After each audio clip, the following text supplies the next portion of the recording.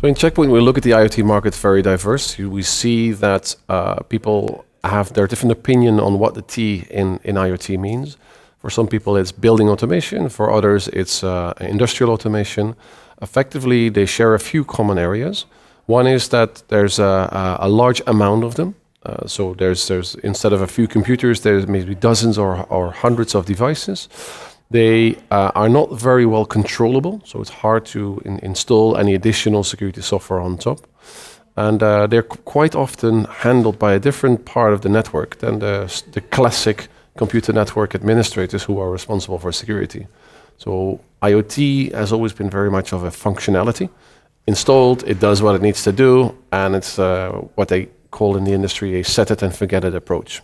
If it works, don't touch it. If it ain't broke, don't touch it again.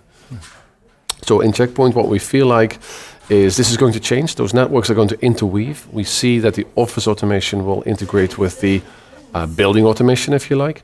And both of them come with different characteristics where effectively they will find a need to share data together. So what you learn in one area, you also want to be able to apply in a different area to prevent the IoT part of your network to become a new attack vector that nobody has thought of before and a way for people to find access towards your data. Okay. Uh, and you've come up with something called nano security and nano agents. Uh, what's that? So in Check Point, we started building a nano security, or uh, more specifically, nano agents, to address the, the, specific needs that IoT devices bring with them. So as we are not capable, like laptops, for instance, to install a full software package, we need to find a way to get as much of the power that we can address on the specific device in a deployment format the way that things will work. So you can think of that such as uh, a plugin in a browser. It could be a lightweight agent that doesn't require administrative rights to install. It could also be a few lines of code that the application developer can embed into their device when they compile the application, so that uh, if they want to, they can call on security as a service. So it's like checking a checkbox that says, I now subscribe to the security need. Your traffic will then be investigated by Check Point's technology in the cloud. So we are making that available via the internet, where all of the IoT devices typically are connecting. And we make sure that, depending on the power of the device, we either do the enforcement on the device itself or we do it from the cloud, preventing the uh, potential attack uh, to be mitigated before it actually happens.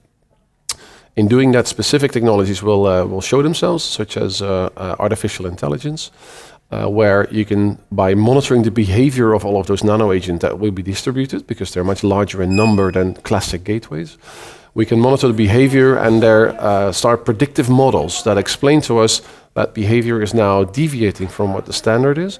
And because of that, something must be going on, a trigger to either further investigate or when you're very rigid on security, to simply stop that traffic because it's not uh, required in order to do the typical functionality.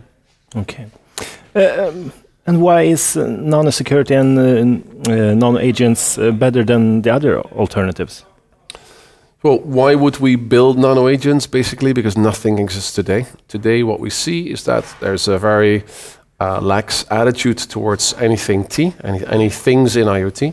Uh, that means that uh, equipment gets installed with default usernames and passwords. Uh, it gets installed without a mechanism to automatically update, even when security vulnerabilities have been found. And on many occasions, installed by a different team than the networking team, which is responsible for security.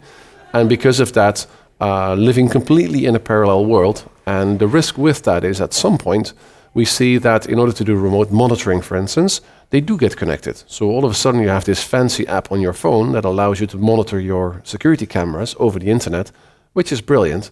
But if it also connects to your internal network, that's an attack vector potentially for people to break in and exfiltrate data that is really building your business. Um, and how is this helping customers, you think? We feel this will help customers as they typically haven't thought about it yet. We're, today we're talking about a nano security with the first customers in the market. We're doing what we call early availability testing. So we build the, the basic of the, the technology, we expose it to customers, we go into their labs, we ask them, uh, play around with it. We have uh, regular calls to discuss how things are going. They feed us with a lot of needs that they have, so they get exposed to technology there creativeness starts flowing, and we can then obviously adopt whatever we, that we're building. What it will finally help them to do is to realize that uh, because of the scale of, of IoT, uh, traditional approaches are not going to work uh, from a management perspective, neither from a cost perspective, because it's going to be very expensive to do that a, in a traditional way.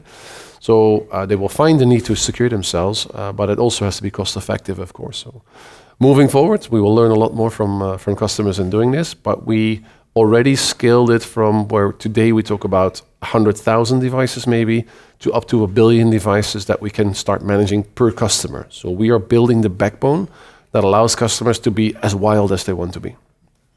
Okay. So what do you think? Is uh, nano security and nano agents the future?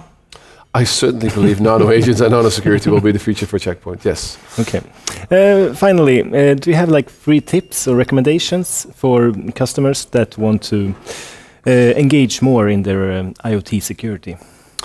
Sure thing. Um, when asked for three tips to secure IT networks, one of the first things I would say is segregate it from your, your existing IT network.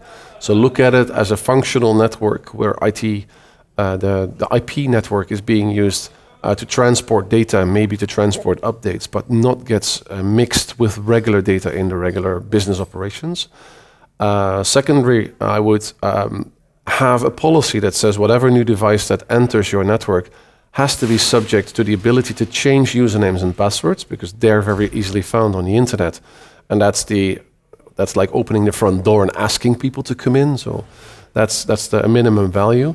And thirdly is to find a mechanism that allows you to monitor what's going on. Uh, so if you can't do anomaly detection right now, your trend analysis will give you a tool in hand that will also increase the awareness uh, of the fact that uh, a new attack vector already was present in your network. You just haven't looked at it yet.